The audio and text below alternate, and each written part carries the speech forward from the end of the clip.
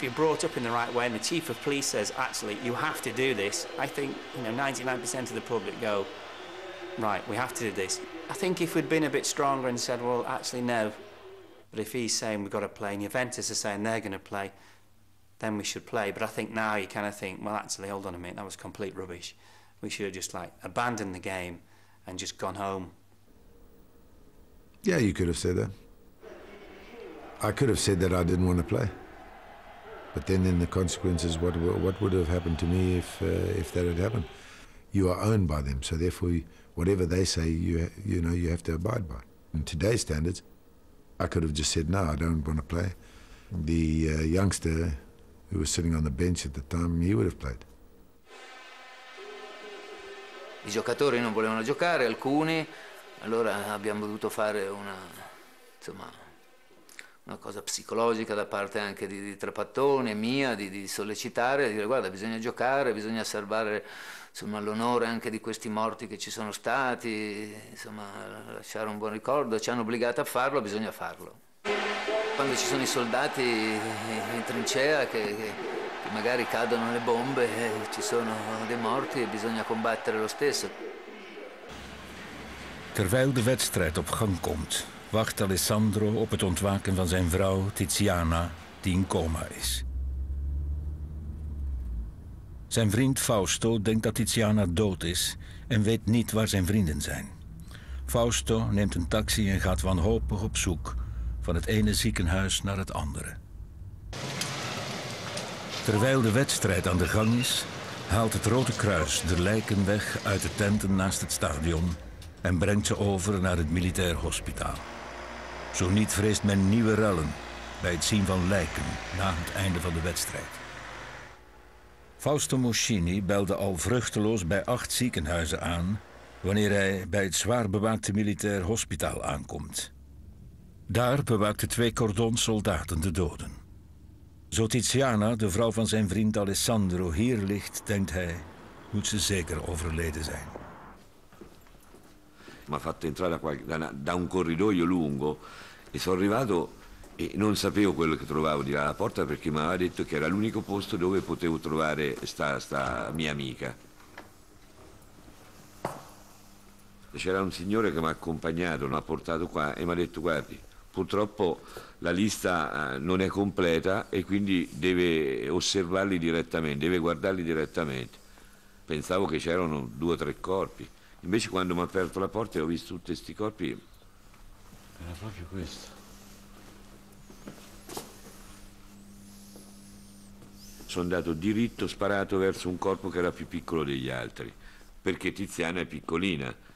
Quando sono stato più o meno a metà mi sono, ho rallentato e, e, e, poi piano piano sono venuto col passo diciamo insicuro perché ero pauroso poi a distanza di due o tre metri ho visto che non era quello di Tiziano ma era di un bambino, di un ragazzino che ci poteva avere 9-10 anni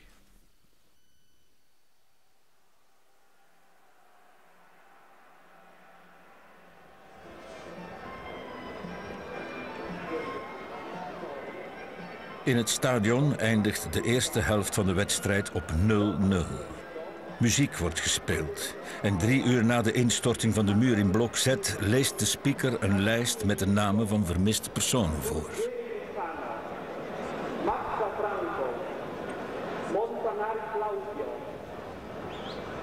Guy van Biesen, hoofd van het Heizelpersoneel, hielp bij het opstellen van de lijst. Je suis retourné dans la tribune d'honneur quand le match a débuté et je me suis retrouvé avec un supporter italien et il était en train de crier et puis je l'ai regardé.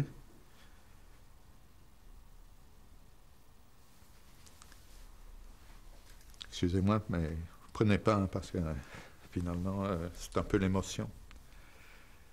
Euh, et je l'ai regardé et euh, le gars était sans chaussures, plein de sang. Et il était en, en train d'encourager son équipe. Mais j'ai été tout aussi surpris parce que mon fils était en tribune, l'actuelle tribune 3. Alors j'ai été le trouver dans la tribune 3. Et là, tout le monde suivait le match d'une manière très débonnaire, je dirais, comme si c'était un match tout à fait normal. Et je lui dis, écoute, euh, il faut rentrer à la maison. Il me dit, mais non, tout, tout va bien. Je dis, mais tu sais qu'il y a eu des morts Ben oui, oui, il y a un monsieur avec une radio à deux pas de moi et qui nous a dit tout ce qui se passait. euh, et tout le monde dans cette tribune restait impassible et suivait le match.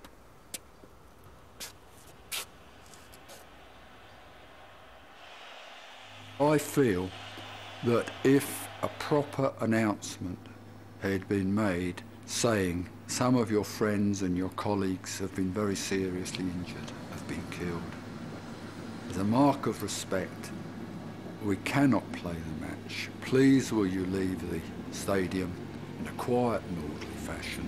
I believe that would have happened. Wanneer Juve-ster Platini de bal doorspeelt naar Boniek, krijgt de wedstrijd een beslissende wending. Boniek wordt wel neergelegd buiten het strafschopgebied, maar toch krijgt Juventus een penalty toegewezen. I thought, well, this is it. They're trying to cheat us on on, on a penalty, yeah, which was never a penalty. I'm going to do my best to stop this because that, that is just wrong. Maar dat mislukte.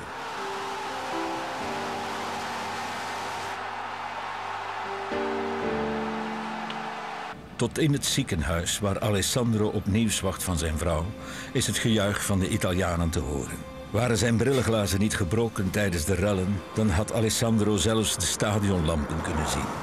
Nu ziet hij amper de taxi met zijn vriend Fausto. ha chiamato un dottore, si è presentato dicendogli che era un dottore anche lui e poi sono entrati lì dentro.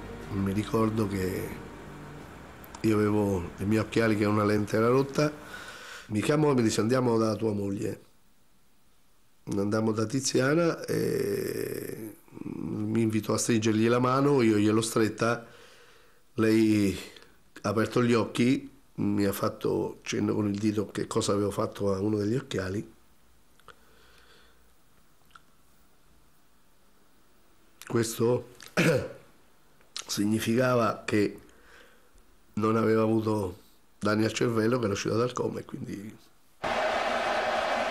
Uiteindelijk beslist één strafschop wie die finale wint. Juventus klopt Liverpool met 1-0 en wint de Europa Cup voor de eerste keer in zijn bestaan. De Liverpool-fans verlaten snel het stadion. Een duizendtal extra politiemannen en rijkswachters leiden hen zonder uitstel het land uit. Er zijn geen verdere incidenten. again, a bit confused of why this was going on. How come they wanted us out of their country so quick? What I mean? Why couldn't we go round and have a look round? And then when we got onto the boat and started seeing the images on the television, it was, oh, it was shock. I think shock just hit everyone. De Juventus-supporters blijven in het stadion om de overwinning te vieren. Poi eh, secondo me eravamo ancora sotto effetto di ipnotizzamento perché guarda il pubblico, cosa fai? Eh, Come lo puoi giudicare così? Se in quel momento andavi a intervistare i tifosi ti dicevano tutte altre cose. Ti dicevano siamo campioni d'Europa, abbiamo vinto la Coppa, siamo i migliori e poi la mattina dopo perché hanno giocato? Non dovevano giocare, perché hanno festeggiato, perché non dovevamo festeggiare. Il calcio è anche questo. Ci sono situazioni dove per 90 minuti ti dimentichi tutto quello che c'è da dimenticare e giochi una partita di calcio. Perciò io farei un rapporto tra, tra la partita di quella sera e cosa succede in queste guerre, che non sono cose belle, però nonostante i morti, nonostante il sangue, nel momento della vittoria esulti, perché vuoi, è una specie di, di- di- di vendicarsi del nemico, capito? Non è che pensi subito a quello che è successo, poi dopo con calma ripensi a tutto e, e porti rispetto e pensi sempre a tutte queste persone che sono morte, ma nel momento è come vendicarsi e di dire abbiamo battuto gli inglesi nonostante che ci hanno ammazzato i tifosi, gli abbiamo fatto vedere che, che non ci distrugge niente. Ha vinto la Coppa! Inglesi animali! Bastardi! A vedere se loro continuano con gli hooligans, hooligans a pensare cose che possono fare. Ma oh, te prendi uno alla volta, sono come noi. Eh. Cioè come noi messi in tanti insieme che fanno un casino, siamo uguali a loro, se non peggio. We've all, well, not all, but a lot of people, myself included, have got short fuses and can react emotionally